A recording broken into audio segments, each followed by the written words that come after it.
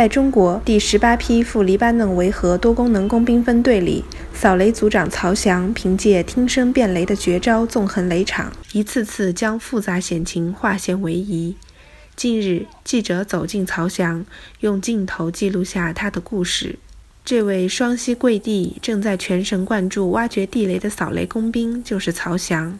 他正在挖掘的地雷不仅被碎石和草根包裹得严严实实，而且地雷引信朝上，这意味着地雷发生了位移和旋转，潜在危险无人预知。这种情况在挖掘起来比较的危险。我们现在所在的这个雷带上面啊，覆盖了有很多的泥土，大约有五十厘米深。像这样的复杂的情况，在这条雷带上还有很多。我们在处理起来，这这种地雷是比较的危险和复杂。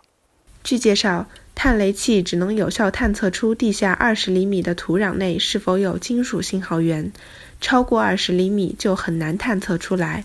就在一小时前，当新作业手陈成苗因始终听不到探雷器的声音，怀疑探雷器调试有误时，曹翔果断让陈成苗退出通道。他判断这条雷带上出现了遗失地雷。我眼前这根白黄相间的小木桩，就代表的是遗失地雷的位置。本该在雷场腰图上显示，在该位置是埋设有一颗地雷的，但是经过多年雨水冲刷，地雷发生了移位，导致在正常的探测过程中没有发现信号源。曹翔把探雷器灵敏度调到最大。清理掉地表上一层石块后，听到探雷器发出微弱的响声。当曹翔把一块厚十五厘米的石头挖出来后，探雷器发出的声音急促响亮。他判断挖到了地雷引信，于是用毛刷轻轻扫掉石块间的浮土后，果然发现了地雷引信的方向斜着朝上。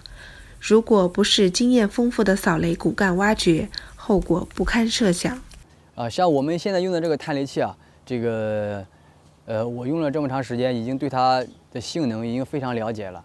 像地地底下如果说有比较大的信号源，或者是形状比较特殊的信号源的话，通过声音的辨别啊，就能感知这个地底上的这个信号源是个什么样的物体啊，它的金属含量有多大啊。比如像我们现在用的，呃，扫的这个以色列四号防步兵地雷。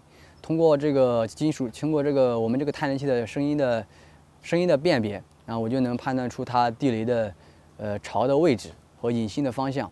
在扫雷的过程中，呃，我们作业手呃要反复的去确认这个信号源和和这个地雷的位置。呃，他每次就是可以呃用大概的用声音去辨别这个地雷的位置在哪里，呃，深度有多深。呃，这是我最佩服他的地方。据悉，2019年，曹翔28岁，是第三次来到黎巴嫩执行维和任务。其个人累计销毁地雷两百余枚，清排雷区六百余平方米，在雷场工作超过一千二百小时，被战友们称为“雷场听风者”。我觉得扫雷对我来说就是一件非常有意义的事情，也是一件让我终身难忘的事情，所以说我就又毅然决然的。踏上了维和的战场。更多精彩尽在中国新闻网客户端。